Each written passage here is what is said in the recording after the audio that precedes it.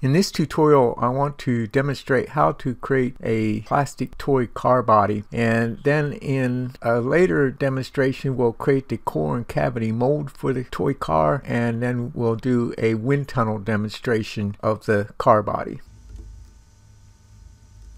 So we'll start out with some sketches to define our geometry. And at first it might look like this is uh, really complicated, but we'll break it down into small steps where it isn't really all that difficult. So I'm going to drag my roll-up bar up and I'll look under sketch number one. And sketch number one is a simple rectangle and I've named that as clay block. Let's uh, think of that as though we were going to cut this part or carve it out of a block of clay. So I'll go to my extrusion tools and I'll select that rectangle and let's go up a distance of let's say uh, 80 millimeters. And I'll turn off the visibility of that sketch now and I'll drag my roll-up bar uh, down underneath the front sketch and the front sweep path. So the front sweep path is simply an arc with a couple of lines at an angle to define the angle of the arc and then the sweep profile is another arc with a couple of lines defining the angle of, of the arc. So I'll go to the surfaces tools this time and I'm going to do swept surface and I'll select this arc first and then I'll select this arc and so it'll sweep that as a surface and then I'm going to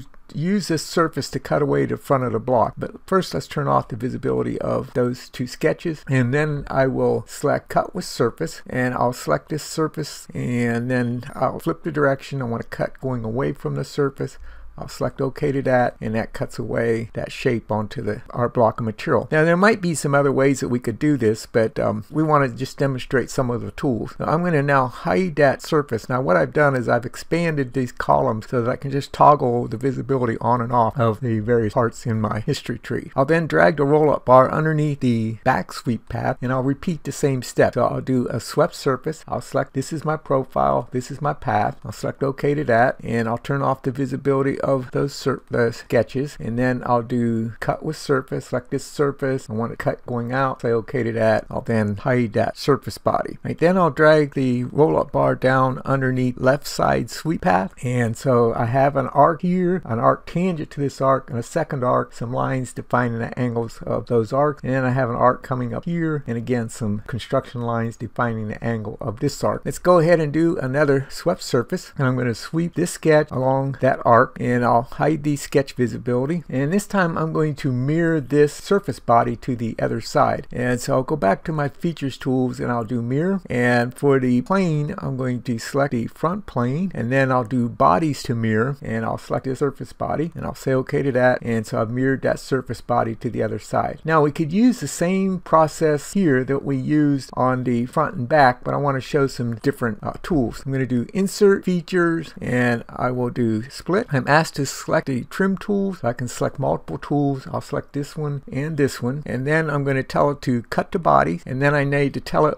which piece to keep. Do I want to keep that or do I want to keep this or do I want to keep this? And then I'm going to discard or consume uh, the bodies that I cut away. Now, if we select it in the wrong order, that's no big deal. But notice how we could keep any of the bodies. So that could be important for other operations. So let's edit that feature and we'll uh, uncheck this and check these two and so you, can always just undo an operation or change the edit the operation if you uh, need to uh, make a change. Okay, I'll turn off the two surface bodies. All right, then I'm going to I'll drag the roll up bar underneath the tail sketch. And so I have a series of splines created here. And so I created a, a point, another point, a third point, and then a line that I mirrored these points about to the other side and then drew a spline across those points. So then we'll do on the surfaces tab, we'll do a uh, lofted surface and it's important now when you select these splines that you select them in approximately the, the same location, but don't select that point on the end because you can loft to a point. We don't want to loft to a point. We want to loft to these splines. Now don't switch back and forth. Stay approximately the same location so that you don't twist your lofted surface. Now notice that the 80 millimeters doesn't go up quite high enough to meet this surface. So that surface is a little bit above the 80 millimeters, but here the rest of it, it goes through the part. So if I use trim with surface or cut with surface, or if I use the split tool like I did previously, we're going to miss a little portion right there. So we're going to do this a slightly different way. I'm going to select a replace face and the first thing I need to do is select the target face for replacement. I want to replace this face and then I need to select the tool to use to replace that with. I'll select this face and I'll say okay to that and so it, it lifted it up or brought it up to meet this surface back here and then cut the rest of it away. So you can both extend and trim with that replace face. We'll hide the visibility of the surface. I'll hide the visibility of the sketches. And then I'm going to do a fillet on this corner here and here. So I'll select that edge. I'll do a fillet. I'll put in a, a radius of 80 and I'll also fillet this edge. I'll select that fillet. I'll do another fillet. Select this edge. I'll do a fillet. This one I want to be radius 20 and I also want to get this edge back here in this corner, this edge, and this edge going across the back. Right, once I have those edges, I'll accept the fillet. I'll drag my roll-up bar down underneath canopy sweep sketch and I'm going to do this one now as a solid body.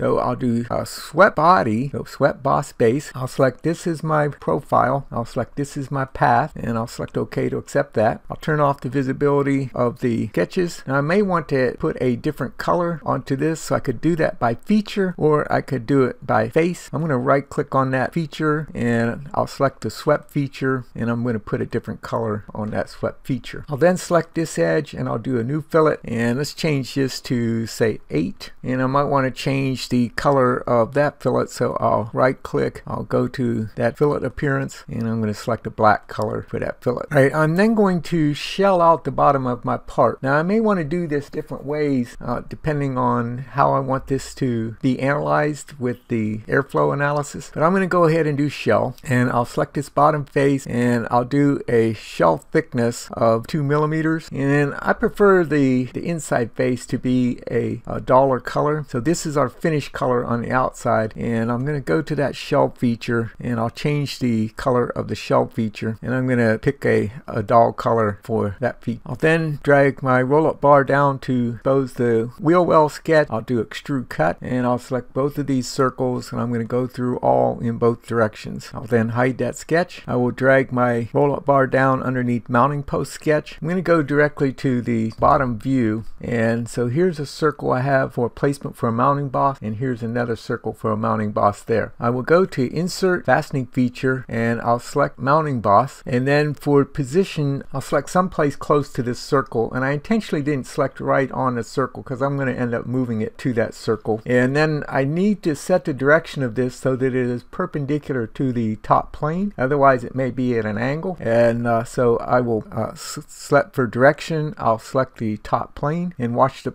the feature when I select that top plane. And it disappeared so I need to flip that direction so I'll flip the direction and now it's perpendicular to the top plane and then for the location I'll select this circle right here and so now it's directly lined up with that circle under that plane. I can make changes over here to the height of this and I can tell it whether I want the head side or the threaded side. I want to do the threaded side for this and then if I go distance A if I want that to be a certain height I could select the height or I could tell it to go uh, to a mating face and I'll select the top plane as that mating face. I can select the edge of the car uh, as the face that I want this to go up to and then if I want to change the height of these rib and let's say that I want to make that rib 30 I'll hit the tab key to preview that. And uh, if it uh, if it's too high it won't preview it. Let's do 20 okay so I see that that 20 previews okay. And if I want to change some other features on that like the angle this distance E distance B so forth I can change those. If I want to change the number of ribs I can set the number of ribs the number of ribs or fins that I want supporting that boss. And I'll go ahead and select this one and accept it. And then let's do this again on this one back here so again, I'll look directly at this from the bottom view. I will insert fastening features, a mounting boss, select on that face. I want it perpendicular to the top plane and I'll need to flip that direction and then I want to center it with this circle. I want to have it go up to this face and I want to increase the height of these fins. So distance C, I'll do that as 20. Hit the tab key to preview it and maybe I should come up higher on fins back here. So let's do 50. And again, if it, we see that color change, it's not going to allow us to come up 50. Uh, we may need to change the, the draft angle on the fins. I've changed distance A from the center of the boss out to the edge of the fin to 20. That might be too far. Let's do 15. And if I do, I end up cutting off. I've also changed this angle E and this distance or the, the distance E. Let's change that to 5 millimeters. And it still might be pretty high, but I'll go ahead and accept uh, these parameters. All right, I want to hide that sketch and then I'm going to change these mounting bosses to the gray color. And so I'll copy, copy this property and I'll paste that and I'll paste it again. Okay, I want to mirror those two features to the other side. So I'll do mirror, I'll select the front plane and then for the features to mirror, I will select the two mounting bosses, mirror those to the other side. And I may need to copy that appearance to the, the mirror as well. So I'll copy appearance and I'll go to the mirror and paste that appearance. So there is our toy car body. Now I see that I didn't change this to the threaded side and so I have the head side where the fasteners would go through here and I would want them to go through the bottom. So I'll go to the second mounting boss and I'll edit that feature and I need to change that to the threaded side. I'll select OK and everything updates as we would expect it to.